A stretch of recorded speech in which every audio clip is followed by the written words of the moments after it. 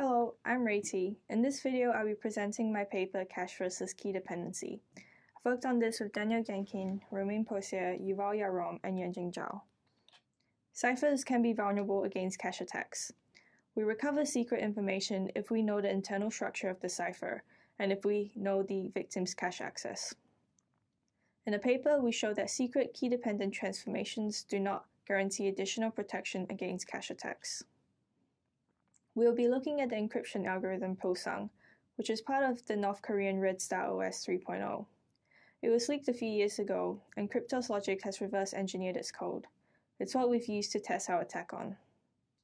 Pilsung is based on the AES cipher, with the main differences of having key-dependent S boxes and key-dependent shift row permutations. With AES, secret information can be recovered with cache attacks, and also because we know the internal structure of AES. In the paper, we find that secret transformations do not make Pilsung more secure against cache attacks that are used for AES. So for the remainder of this video, I would first like to start off with a refresher on AES, then introduce a cache attack that we can use for AES, and then go into how that can be adapted for Pilsung. AES is a cipher that encrypts messages over a number of rounds of transformation. In this slide, we will just look at one of those rounds. We start off with our initial state as 0, with the message that we want to encrypt, also known as the plaintext P. I've represented the AES state here as a 4x4 matrix, with each element representing a byte of information. We XOR the plaintext with the first round key. The round keys are generated from a master key that is, is expanded to a number of round keys. After the add round key stage, each byte is substituted by looking at a lookup table or a substitution box. We then apply the shift row operation to the state. Looking at the colors here, we can see that the shift row cyclically shifts each row by some amount. We then apply mixed columns. Mixed columns essentially replaces each byte with a function of itself and the other bytes in the column. This is the last round of this is the last transformation of this round. The output of mixed columns is then used as the input for the next round, and this repeats for a number of times for AES to encrypt the message. Let's look at attacking AES. We have our input, the plaintext, and then we XOR it with the key. This is used to index the lookup table or the substitution box. From now on, I'll be referring to it as SBox. And here I've represented it as SB, and it, and it is indexed with the previous state plaintext XOR key. Thing to note here is that because the index is equal to plaintext XOR key, we can say that the key is equal to the index XOR p plaintext. If we know the plaintext, and if we can somehow get the index, we can get the key. We can get the index by using cache attacks. We obtain SBox accesses by observing memory accesses to the cache. We use prime and probe, which uses timing information to infer victims' cache accesses over a period of time. Let's look at this in practice. We have our initial state, the plaintext. Now say if we perform multiple encryptions with different plaintexts, but here we fix one of the plaintext byte. Then we perform the add round key stage and we notice that across the encryption, that byte's value is still fixed but to a different value this time, plaintext XOR key. Note that that fixes the SBox access. And we can observe this SBox access in memory. And we can get the, and since we know the plaintext, and now we have the index, we can get the key. In reality, cache attacks on AES isn't as simple as that. There are some practical challenges that we will first have to address. One of this is the limited temporal resolution. With prime and probe, we sample the cache at regular intervals. That means that there are many accesses that happen between samples, some of which we don't care about, and that creates noise. To help illustrate this, I've come up with a representation of the cache. Each region represents a cache line, and the dark regions represent that that cache line has been accessed. So with this first one, we perform prime and probe over encryption and we fix one of the plain text, so we expect that one of these regions represent the SBox access. Now we perform prime and probe over an encryption again, and we notice a different cache access patterns. We do this over a number of times. What we can do is average over these results. What we'll see is there is one re region that is the darkest. That means that that cache line has been consistently accessed over the different encryption. And because we know that when we fix that one plain text byte, it will fix the plain the bytes SBOX access in the first round. And so that dark region should correspond with the first round SBOX access. So we found the index, and we've also got the plain text, and we have the key. There is another challenge that we have to resolve. That is limited spatial resolution. We can't distinguish between accesses to the same cache line. For AES, we have multiple SBOX entries that are present in the same cache line. With the 256 SBOX, in this case, they are mapped to four different cache lines, with each cache lines storing 64 of the SBOX entries.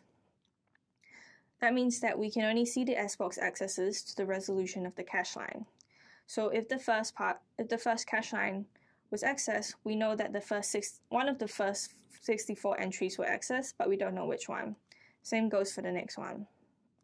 That means if we perform the attack as we have just before, we can only recover partial information about the key.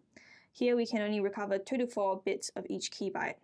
So the solution is to perform the attack in two rounds. The first round being what we've just seen, and the second round is to look at more SBOX accesses in the second round to get more information and recover the remaining bits of each key byte.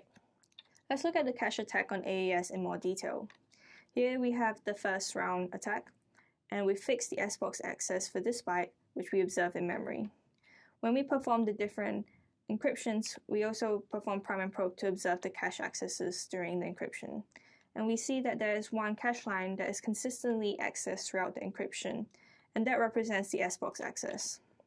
And we know that that's part of the that's one part of the SBOX.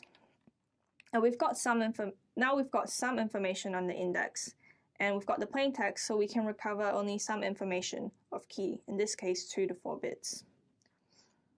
Now we have to perform another part to the attack to re recover the remaining bits. For this next part, we will be looking at the second round S-box accesses. Note that for the first round, we fixed the first byte so that we fixed the first round S-box access. So for the second round, we need to fix the second round S-box accesses. The problem with that is that the input to the second round is the output of the first round. And we will see how we can fix the output to the first round in the next slide. The second round attack, we have the plain text again. Now we have different encryptions, and this time we fix 4 bytes, and we fix the 4 bytes across the diagonal of the matrix. We perform add round key, and sub bytes, and shift rows. And what we note is that the fixed bytes are mapped to the same column this time. Now when we perform mixed columns, those bytes in the column will be fixed across the encryption. So we have four state bytes fixed at the end of the first round. And we use that as the input to the next round. And when we perform add round key, we find that those SBOX accesses are fixed as well. The idea for the second round attack is to fix four plaintext bytes that map to the same column after shift rows. We need to know the transformation to know which four plaintext byte to fix so that they will map to the same column after shift rows. Luckily for AES, we know the shift row transformation, so we know which plaintext bytes to fix. But for Pilsung, the shift row permutation is key dependent, so this attack will be a little bit more tricky. So that's a brief description of the cache attack on AES. Now let's look at how that can be adapted for Pilsung. Let's first look at how Pilsung differs from AES. Pilsung is based on AES with key-dependent transformations. Pilsung has a slightly different key schedule. The master key is passed through a SHA-1-based function to generate K. Pilsung uses the AES key schedule with K to generate 11 round keys. Pilsung's S boxes is slightly different as well.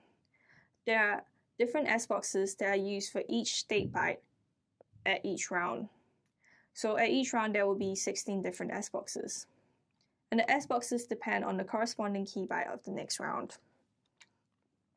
Here is a visualization of the S box accesses for AES in one of the rounds. We have the state XOR of the key, and during sub bytes, they all access the same S box. Now with Pilsung, we see that each byte accesses a different S box. Pilsung also has a different shift row. Pilsung shift row uses a pseudo-random permutation. The permutations depend on the key of the next round, and from there, it generates some permutation to shuffle the state. Here we have a representation of the AES shift rows. AES shift rows simply shifts each row by some amount. With Pilsung, we get the next round key to generate a pseudo-random permutation to shuffle the state around. Now let's look at the first round attack on Pilsung. It is exactly like we would do it for AES. For Pilsung, we get the two most significant bits of each key byte, and we use the cache access patterns to infer S-box access indices. And from here, we can reduce the search space for the second round attack. In this slide, we'll look at some experimental results for the first round attack. Here we have the heat map that represents the cache accesses when the byte is fixed. On the x-axis is the cache set, on the y-axis is the plaintext value that the byte has been fixed to. The darker the regions represent the, that the cache set has been accessed. Here's a visual representation of the byte's S-box. The byte, the S-box is mapped contiguously across the cache set. So the first 64 goes to the leftmost cache set, and then next 64 goes to the second left, and so on. Now, if we look at the first 64 SBox entries, they're accessed when the bytes plain the bytes plain text are set to 64 to 127. Now, if we just look at the two most significant bits, the SBox entries two most significant bits are 00, and the byte plain text two most significant bits are 01. We can use that to get k with plain text XOR index and we find that the keys bytes two most significant bits are 0, 1. Now when we look at the other region of the S box, where the entries are 64 to 127, that occurs when the plain text is set to 0 to 63. Again, we step through the same process, and we find that the key bytes two most significant bits are 0, 1. We can do the same for the other regions, and we find that the results are consistent. Now before moving on to the second round attack, recall that the second round attack requires us to fix 4 bytes that map to the same column after shift rows. But because shift rows in Pilsung is key dependent, we don't know the permutation. So we will have to reverse shift rows. There are two steps to reversing shift row. One is to do a column mapping. We, by observing cache accesses, we can find a group of four bytes that map to the same column in shift row. We can also identify which column the group maps to. Here we see an example of a possible shift row permutation. And we find that these four bytes map to those columns. Mix, we can find column ordering. After finding the bytes that map to the same column, we can find which row each byte goes to. So for example, with the first column, after finding the row each byte goes to, we would have found where the byte maps to after shift row. And we can do so for the remaining columns, and we have completely reversed shift rows. Looking at the column mapping in more detail, the idea here is to fix four bytes and then check if they map to the same column after shift rows. If they do, then we have found the correct 4 bytes. An example here where we take multiple encryptions and we fix these 4 bytes. And we find that after shift rows, they don't map to the same column. So after mixed columns, across all the encryptions, we won't see any fixed bytes. We can do the same again, fixing four other bytes, and they map to the same column after shift rows.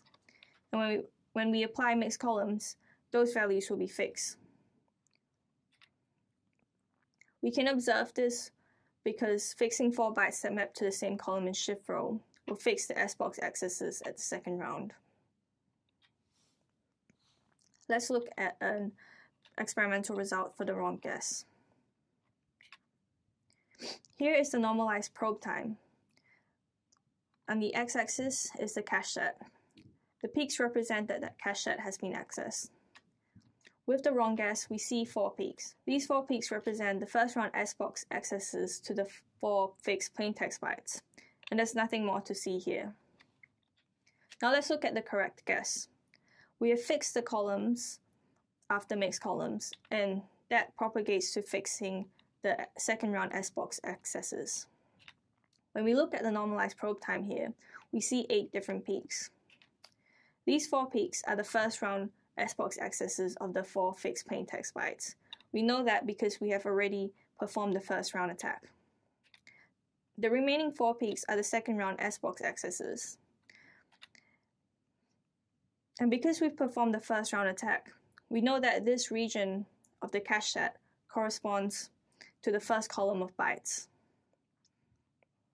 Now we've done column mapping, we can look into column ordering. We have to understand mixed columns a little bit more first. Mixed columns is a matrix multiplication. Now let's focus just on one of those columns. Say we fix all the bytes except for one. That means that that column, the elements of those columns, can be expressed as the varying bytes value. So fixing three bytes in a column and varying the other results in a predictable behavior dependent on the varying byte. Where that byte is in the column will result in a different set of equations that represents the elements in the column. And we observe that by looking at the cache access patterns. So by looking at the second round S-box accesses, we can determine which equations they are and therefore determine the location of that byte in the column. Let's look at an experimental result of this. We have fixed these four bytes and varied the, the first byte. After shift row, we are not sure where that varying byte is in the column, but we observe the second round S-box accesses. Here with the cache heap map, we know where the first round S-boxes are, and we don't care about that. This region is the second round S-box accesses. We see that for the different plaintext value of that varying byte, we have a different second round S-box access patterns. This is different because of the varying byte. Now we can look at this in more detail in this region. This region shows the four second round S-box accesses. What we need to know here is that by fixing three of the bytes and varying the other, there will always be two second round S-box accesses that are identical up to XOR with a constant. Identifying them will give us the role of the varying plaintext byte. So for example, with this one, accesses in the first and second S boxes are identical up to XOR with constant 1, 0. So when we look at plaintext 0, the two most significant bits of the first S box is 1, 1, and the two most significant bits of the second S box is 0, 1. When we XOR them, we get 1, 0. And we can do that for the other plaintext values, and we'll find that they are all identical up to XOR with constant 1, 0. And because they are the first and second S boxes, we know that the varying byte is in the last row of column. So, so far, we've performed the first round attack and we've gotten two most significant bits of the first round key. We prepared the second round attack by reversing the first round of the key-dependent transformation shift rows. Now let's look at performing the second round attack. Here I've got the visual representation of the shift rows of the first round. We found that the byte is in the last row of the column. Note that for that byte, the second round S-box access can be expressed as the following expression. We have SB1 representing the second round S-box access and SB0 as the first round S-box access. What we need to note here is that the index to the second round S box, we can observe this in the cache. Now, if we can calculate this purple region, we can see that it will match what we observe in the cache up to a constant. But to calculate this, we have to get the first round S box value, and that is dependent on the next round key. RK1. We don't know RK1, but we can guess RK1 and then calculate what the first round S-box value would be. So now we can calculate this purple region. We guess RK0 and RK1 and then calculate this value. If we guess the correct key, this would match what we observe in the cache up to a constant. So for the second round attack, for each key byte, we guess 6 unknown bits of the first round key and 8 bits of the second round key. There's a total of 2 to the 14 possible guesses to test for each key byte. And on average, observing SBOX excesses for around 30 different plaintext byte values for each key byte is sufficient. To summarize, Pilsung's secret-dependent transformation can be reversed by observing cache accesses. To fully break the cipher, we perform around 35 million encryptions and around 19,500 queries of SBOX accesses. On average, it takes about 8 minutes to run on a typical laptop. And we showed that constant time implementation is needed as a defense for side channel attacks.